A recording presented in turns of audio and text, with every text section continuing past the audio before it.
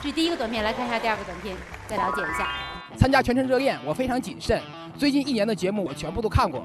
对于女嘉宾可能会问的问题，我也掩盖了很多遍。你媳妇洗脚，你挺暖的。这要让你妈知道，你妈上去得撤你俩嘴巴子。你有点开玩了，我养你二十多年，你都没给我天天洗脚，你给你媳妇天天洗。这事儿啊，咱们台上说。为啥你不说燕玲太贵，你娶不起呢？我腿太长，你配不上呢，对不对？这事儿啊，等我上台再告诉你。女人说话永远是对的，如果不对，按上一条执行。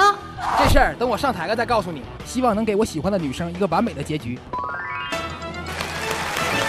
六号座椅，你不说一六十五，你要给我们解释一下吗？那你现在就给我们仨一个完美的解释吧。我先我先顺着这个十五号女嘉宾的这个话说啊，反方向的啊，就是说这个十五号女嘉宾她，她在这个短片里的意思说，这个女人说话永远是对的。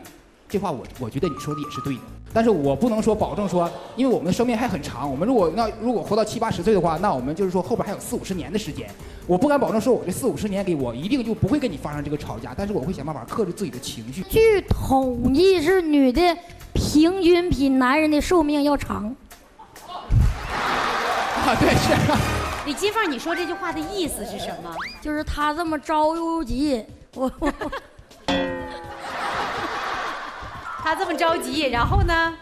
你不着急？对，我不着急，我活的时间长。金凤，你这话的意思就是等他不在了，剩下你就全都说了，是这意思啊？哎呀，啊，好吧，就冲你这句话，我也得坚强的活下去，真的。加油！啊，九号燕燕玲。小伙，你说说话，你怎么就整那没有用的呢？你不喜欢我，你就不娶就完事儿了呗。像我这样的男孩子，就是还处于刚刚大学毕业没几年的时间，我们的财富达不到说达到你这个数字，就是你想要的我给不了，就是这这我们都没有错。艳玲，我觉得其实付楠说的是对的。你看，像他大学毕业，然后呢，要如果他不依靠爸爸妈妈的话，他给五十万的彩礼肯定给不上。通过他自己打工，他怎么能挣来呢？他得需要时间的。那你呢？还自己说了，你还不想找富二代？那你看，你这不就是上上去上不去，下下不来？你这你怎么办？以后变成老大难了。不，我想找对象，就是我不希望我以后的对象靠父母。二十岁之前可以靠父母，但是二十岁以后一定要靠自己。然后我首先接受富二代，就是我感觉家庭条件不一样，然后吧有对比，所以富二代吧就从小娇生惯养的，长大了拔被我不带出息的这样。婚姻呐有四大悲剧形式啊，也送给艳玲，贼简单。第一点是。因为钱而走到一起。第二点是，因为钱而走不到一起。第三点是走到一起全都看钱。第四点是走到一起，全没有钱。四大婚姻悲剧，但愿我们都别干。现在是场上十六盏灯都灭了，想说点什么？我今天就是奔一个人来的，我可不可以把他给请回来？好。我们来看一下他选的意中人是谁，一起来看。十二号李美惠来，掌声有请。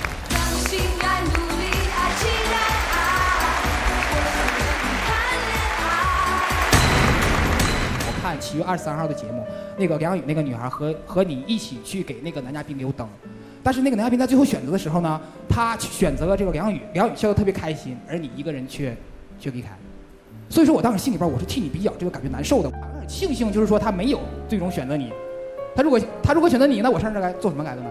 我上这来的意义又哪里呢？我准备了这么长的时间，我报名报个三个月的时间，我准备给我准备个一个月的时间，我准备女嘉宾可能会问的问题，可能会台词，我准备给将近一个月的时间，我为了什么呢？我为了你而来的。我的礼物可以拿吗？您您去取吧，去取吧。哦，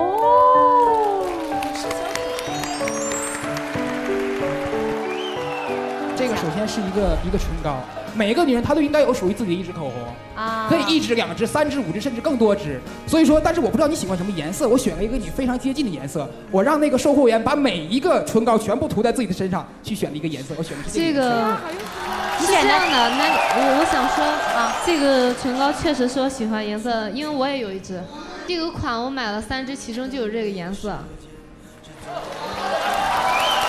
我真的这样，你的每一期节目我全部都看过，真的我。你的媒体，你你你说过的话，你你每次穿什么衣服，我全部都都看在我的眼里边，真的是这样。而且细节到细节到，你看我都抢不上话啊。细节到都关注到口红的颜色了。好，这是送的口红。下一个礼物，啊，下一个礼物是一个是一瓶洗发水。虽然你今天剪个头发，就是我想说的是，不管你是长头发呀还是短头发呀，你应该有一个属于自己一瓶的洗个洗发，让让你自己的头发美美的，你知道吗，姑娘？我所以说我会你不是你确定你现在不是卖货吗？不是在卖货，我真的是我给你带礼物，我很用心的。我我我感觉好像一个就是推销员在给你哦尽力的在推销。对呀、你听他刚才说的话，你要美美的姑娘，你知道吗？你要有这款的，对吧？职业病犯了哈。然后第三份也第三个说，第三个也觉得是我最后一份最重要的礼物，是我把我们家的商品房买卖合同复印个一份给你拿过来。哎呦，好，给大家看一下啊，商。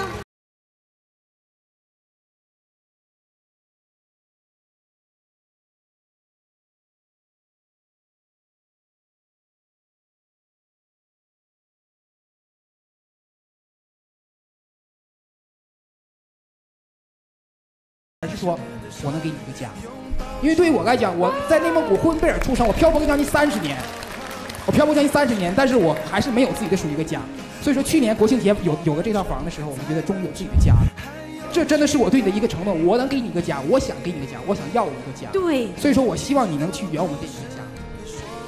对，所以说我，所以说姑娘真的，你的机会有很多次，我后面还有三个男人，但是我的不，但是我的机会就只有一次。我总觉得你像卖货，我后面还有三个男人，就太有套路了，懂吧？就然后机会只有一次，走过路过千万不能错对，过。因为我的我的机会只有一次，我为了我为了你，我虽然说灯都之前都灭了，但是我觉得我为了你，我放弃了所有的这个可能，因为我来一趟之后，我一定要选我最喜欢的。可能就是没能达到喜欢的那种感觉。不过我还是挺感谢小伙这么远跑来，就说给我表白说这这些，还有他的诚意，把他家商品房就拿来给我看了，说什么，但是